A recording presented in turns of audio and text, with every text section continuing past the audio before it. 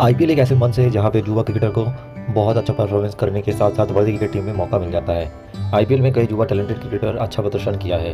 इस बार ध्रुव जुएल इस में एक बहुत बड़ा नाम हो सकता है। राजस्थान रॉयल्स का ध्रुव जुएल रॉयल चैलेंज बैंगलोर के खिलाफ अकेले मैच को विजेता बनाने का काफ़ी कोशिश किया।